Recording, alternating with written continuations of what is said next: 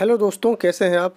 मैं नावेद, हाजिर हूँ राइडर सीरीज़ की एक और वीडियो के साथ। इस वीडियो में मैं आपसे बात करने वाला हूँ कि टी वी एस राइडर 125 में पहली सर्विस के बाद क्या क्या चेंज आए हैं।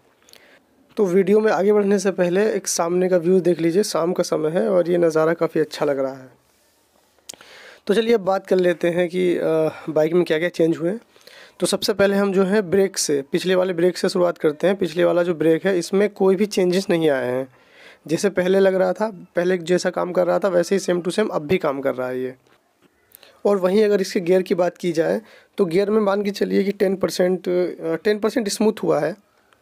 और इसकी जो चेन है, पहले से साफ़ कर दी गई है, पहली सर्विस में। और ये जो है, इसका मडगार्ड है, जो कि सेम ही रहने वाला है। तो चलो अब बात कर लेते हैं इस क्लच की।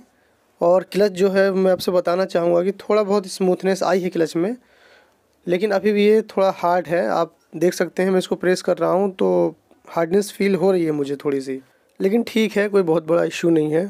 तो चलो, अब मैं बात करता हूँ एक और नए टॉपिक के बारे में। लोग अक्सर इसकी बिल्ड क्वालिटी के बारे में जानना चाहते हैं।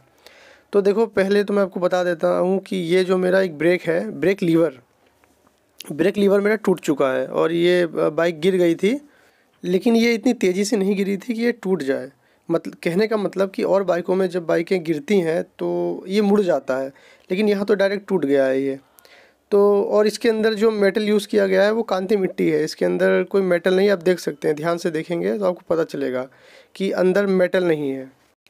तो यहाँ पे ये एक इसका निगेटिव पॉइंट है। इस मामले में इसने मुझे निराश किया। बाकी तो मुझे और कोई प्रॉब्लम नहीं लगी। अगर और कोई प्रॉब्लम आएगी तो मैं आपके साथ शेयर करूँगा। और बाकी आप भी मेरे को बताना अगर आपके साथ भी ऐसे कोई प्रॉब्लम हुई है।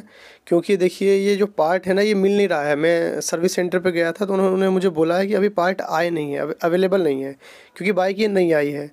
तो अगर इसमें कुछ टूट फूट हो जाती है तो बाइक के पार्ट मिलने अभी मुश्किल हैं थोड़े से। तो इसलिए आप लोग संभाल के चलाइएगा।